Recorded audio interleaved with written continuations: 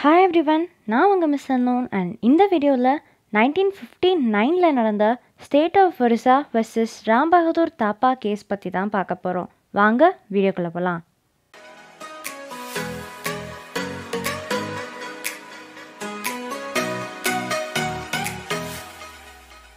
JP Chatterjee அப்படிங்கிற ஒரு கல்கட்டாவில் Chatterjee brothers அப்படின்னு ஒரு நிறுவனம் நடத்திட்டு வராரு. இவர்கிட்ட வேலை செய்கிறவர் தான் இந்த ராம் பகதூர் தாப்பா. இவங்க ரெண்டு பேரும் ராஸ் கோவிந்த்பூர் அப்படின்ற இடத்துக்கு வேலை விஷயமாக போகிறாங்க ஒரிசாவில் பலசூர் டிஸ்ட்ரிக்டில் இருக்க ஒரு கிராமம் தான் இந்த ராஸ் கோவிந்த்பூர்.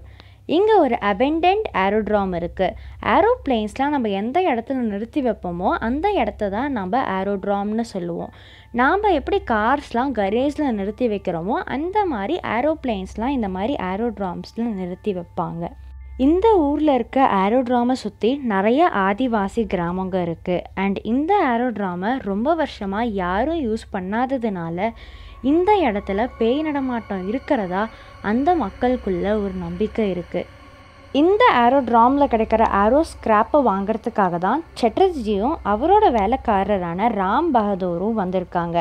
அங்கே வந்து இந்த பேய் கதையெல்லாம் கேட்ட அப்புறம் அவங்களுக்கு இன்னும் ஆர்வம் அதிகமாயிடுது.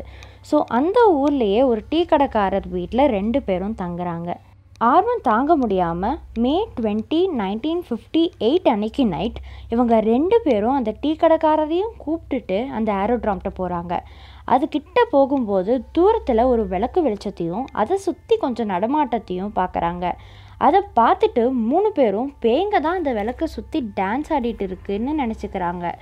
பயத்தில் என்ன பண்ணுறதுன்னு தெரியாத ராம் பகதூர் அந்த இடத்துக்கு ஓடி போய் அவர் வச்சிருந்த கத்தியால் சரமாரியாக கண்ணு முன்னு தெரியாமல் தாக்குறாரு.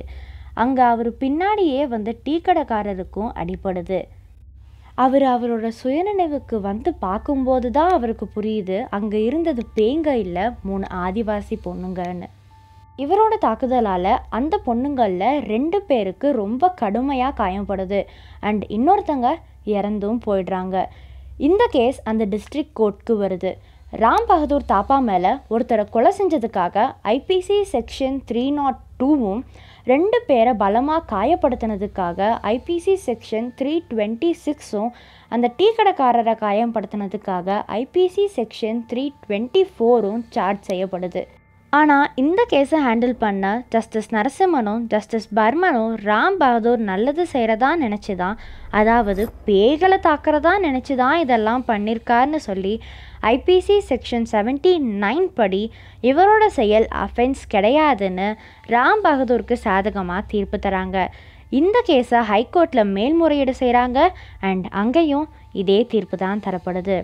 இந்த கேஸில் மென்ஷன் செய்யப்பட்டிருக்க ஐபிசி செக்ஷன்ஸ்க்கெலாம் கீழே டிஸ்கிரிப்ஷனில் எக்ஸ்ப்ளனேஷன் இருக்குது அண்ட் நான் உங்ககிட்ட கேட்கணும்னு நினைக்கிறது நீங்கள் இந்த கேஸை ஹேண்டில் பண்ண ஜட்ஜாக இருந்திருந்தா என்ன தீர்ப்பு கொடுத்துருப்பீங்க?